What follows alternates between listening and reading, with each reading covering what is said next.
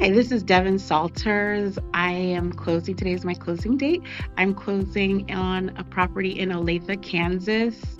Um, I'm feeling very excited, happy, uh, honestly glad for the process to be over and have actually signed the papers. There's been a lot of uh, anxiety and stress around wanting to make sure that I do everything correctly.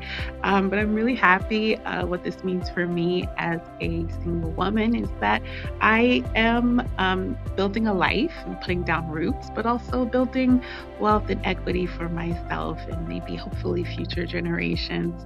So I'm really excited about that and about my future.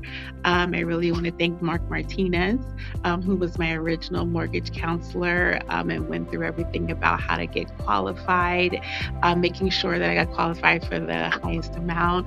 I want to thank my agent, Stacy Cohen, who's been very um, informative and super helpful along the way and keeping uh, me positive because as we all know the hard housing market can be a hard worker but she's kept me thinking positive and on the right path.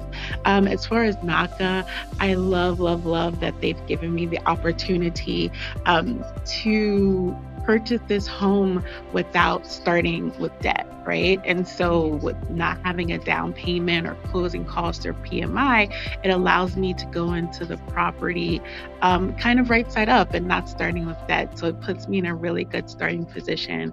And I love that. And I'm so thankful for that.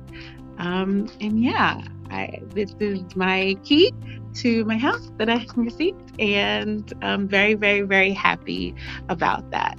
So thanks.